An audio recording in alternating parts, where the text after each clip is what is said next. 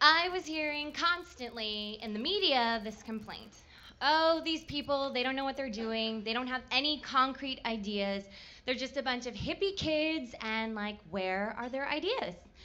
And um, I had a sense, because I'm kind of like an independent media watchdog, if you will.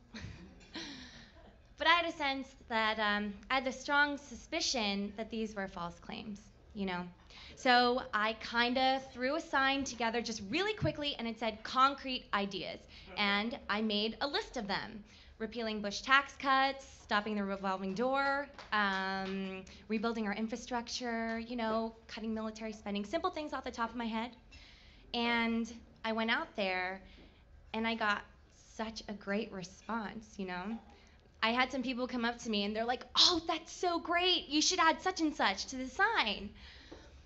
Uh, the problem with the signs is um, they actually take a surprisingly long time to make. I like to make them clean and easy to read. but I actually spent a surprisingly ridiculous amount of money on like white poster board and like various materials.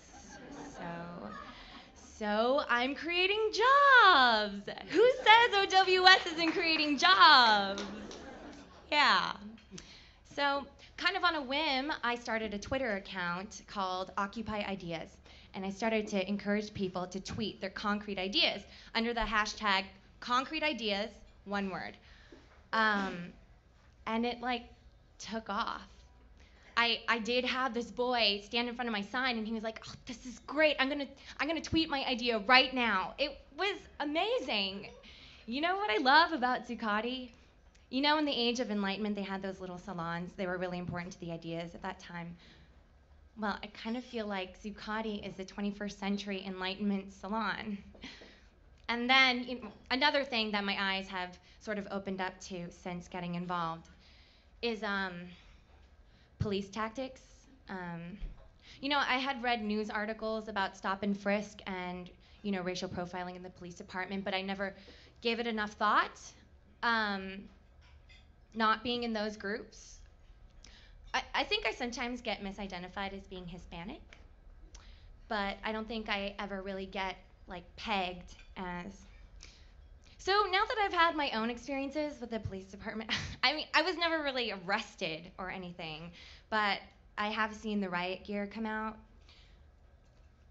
I was shoved once by a police officer at the Times Square rally, completely unnecessarily. I was just standing there holding a sign, and then he shoved me, and I was like, all right. Well, they didn't want us standing out on the sidewalk, which was, as far as I knew, not breaking any laws. When we marched Times Square, there were so many of us that they were directing us out into the street, right?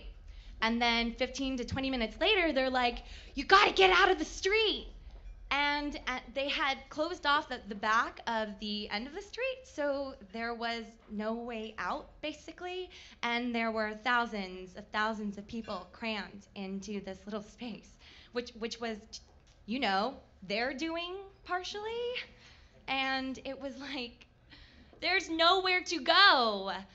And then they brought their horses out, and they were like riding their horses into people it was terrifying. It was so frightening. It was so frightening. I wish I was exaggerating about that.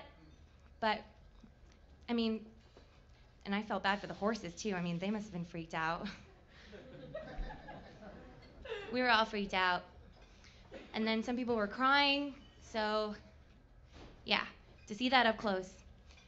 And it's interesting, you know, that there's that complaint that the, the occupiers aren't very diverse, that they're white people only young white people. And, and I don't think it's because the views that we're representing are the views of only white people. Uh, it's certainly, I mean, look, the people in my neighborhood will most likely have the most to gain from what we're pushing for, and I think they know that.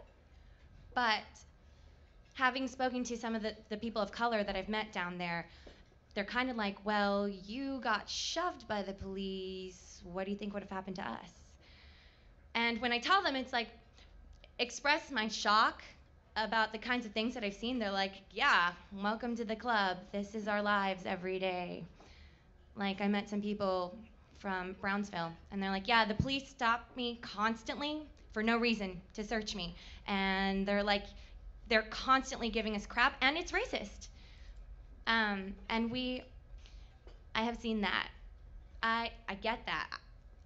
I, would rather be arrested than have those people be arrested because I will most likely receive much better treatment. So I can't really blame them for not wanting to get too involved. But that kind of gives me extra reason to go out there, you know.